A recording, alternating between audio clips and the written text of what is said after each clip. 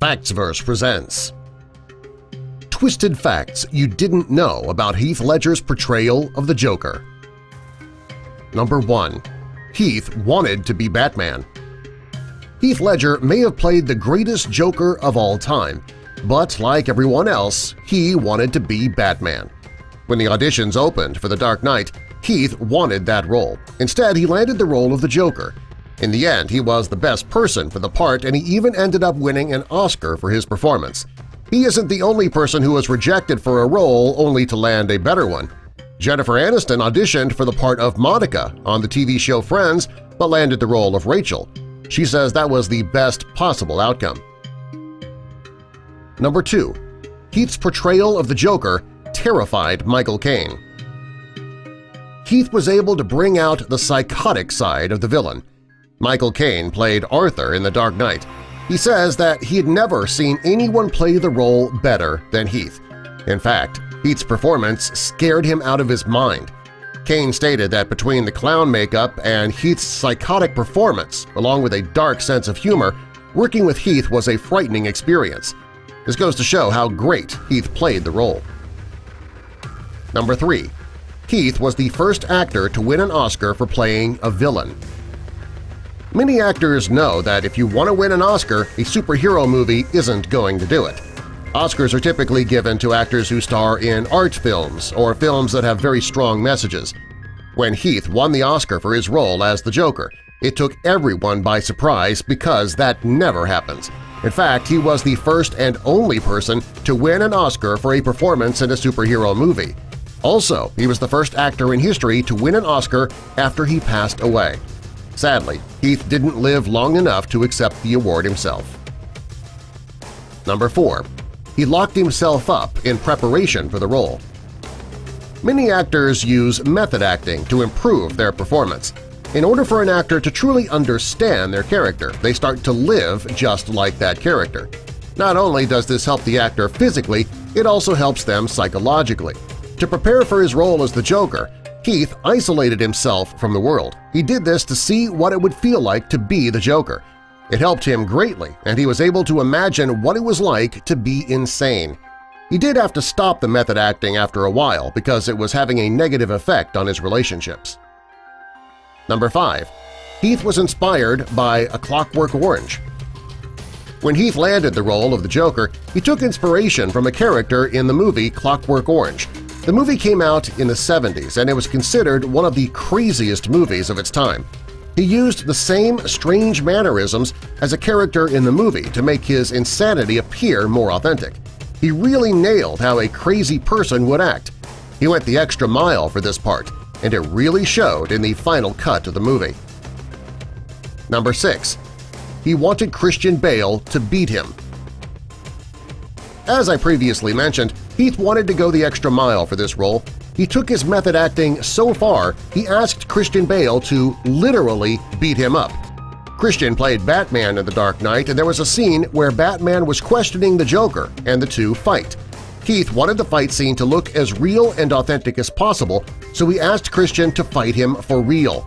He was willing to undergo the pain of the fight just to make the movie great. His offer shows how dedicated he was to making the Joker amazing. Number 7.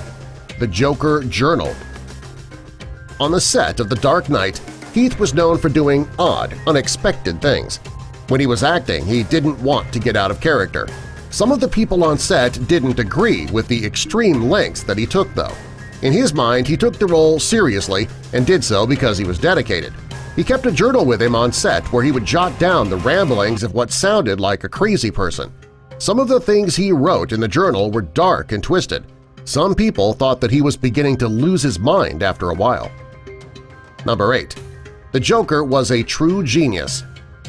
There's always been a debate regarding the Joker. Some people say he is just crazy, others say that he is a genius. Heath wanted to play the role so that the audience could see that the Joker was brilliant in his madness. Heath did everything with little rationale but with strategy when he played the Joker, he had logic behind his plan for the role, and it served him very well. Number 9. Heath liked to improvise. Not too many actors improvise, however those who do, like Heath Ledger, take it very seriously. To do things on the spot, the actor needs to be extremely talented. While filming The Dark Knight, Heath often improvised. He was so good at it that most of his improvised scenes made it into the final cut. Number 10. Heath did his own makeup. There was a makeup artist on the set of The Dark Knight to do Heath's Joker makeup.